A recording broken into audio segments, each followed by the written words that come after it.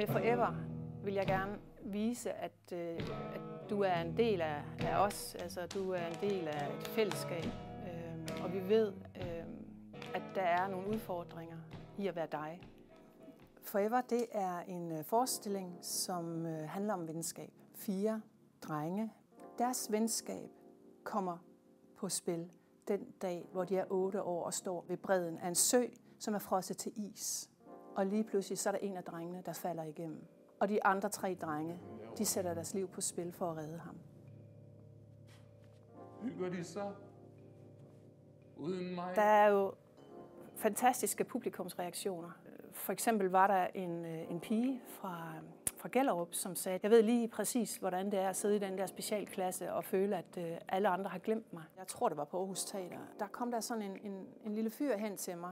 Han var ikke så stor og lidt for rund, og tårne trillede, og han, øh, han sagde, tak fordi, at, at, at sådan en som mig også er med i en forestilling. Det rammer jo lige ind i det, jeg gerne vil med at fortælle, du er ikke alene.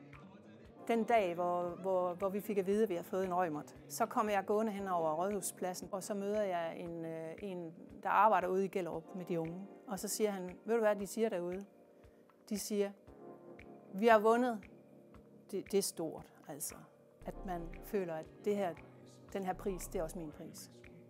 Jeg har jo lavet mange klumsede forsøg på, hvordan jeg får folk til at komme til mig. Men jeg finder ud af, at jeg skal jo komme til, til dem. Jeg skal jo derud, hvor, hvor, hvor de mennesker er og interesserer mig for dem.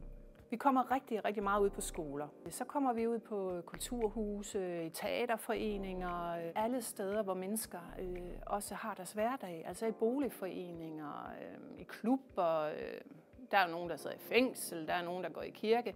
Altså, missionen er jo, at det ikke er rummet, der ligesom skal begrænse det. Man kan jo godt som organisation sige, nu skal vi have nogle flere unge ind, og vi skal have nogle flere med indvandrerbaggrund ind. Men for mig er det et valg, der skal gennemsyre det hele. Alt, hvad vi gør. Og det er noget, som skal blive ved med at, at være der. Altså, det er ikke bare, når nu laver vi lige et projekt og så videre. Hvis vi virkelig mener, at teater eller kultur kan skabe forandringer eller bevæge, så skal vi også selv bevæge os ud.